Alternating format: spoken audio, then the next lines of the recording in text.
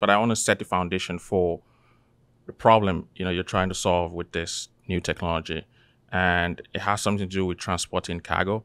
What's the current state of cargo transport vehicles? Yeah. So um, right now, if you're wanting to move stuff across oceans, you have exactly two options. You have you put it on an aircraft and it gets there very fast, and you spend a whole lot of money to do that. Or you put it on a cargo ship. It doesn't cost you nearly as much, but it can take 20 to 40, depending on certain circumstances, 60 days door to door to get it there. So you really have fast and expensive, or you have slow and low cost. The thing is, when you look at moving cargo over land, we have a few other options because you still have air freight, you still have rail, which are analogous to air and ocean, but you also have trucking in the middle. It's kind of that fills that middle option of speed and cost. And that's really what we're doing with Leviathan is to kind of fill that gap because the problem is we've spent the last 60 years optimizing towards those two extremes, uh-huh. but we don't have a middle option that is kind of a balance between speed and cost. It's really, really hard to go fast over water. Yeah.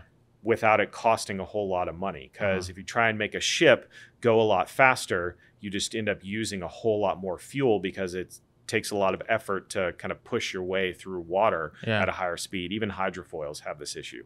Uh, you can theoretically fly a plane slower, but the amount that you save in fuel mm-hmm. um, gets offset by the added time of the flight and your operating costs and the mm-hmm. fact that you're not carrying enough cargo. So it ends up costing you more or it makes it less economical to do it that way. So, yeah, Plus, plus, plus, the higher you go, uh, uh, the less fuel you use. And, yeah. And the faster you can go without yeah. sacrificing anything else. Yeah. Most aircraft, the way you want to run them is you want to be as high and uh, kind of fast as you can be because yeah. that makes the process more efficient for typical aircraft.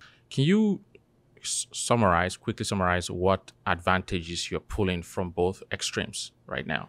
Yeah. Uh, I mean, so the, the fun part about ground effect vehicles especially larger size ones, is it is literally the most efficient way to fly.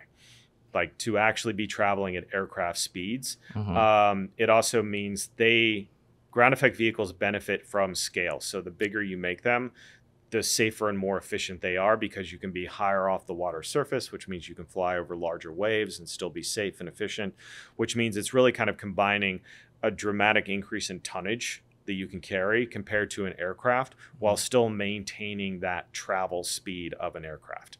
So it's it's balancing out the speed.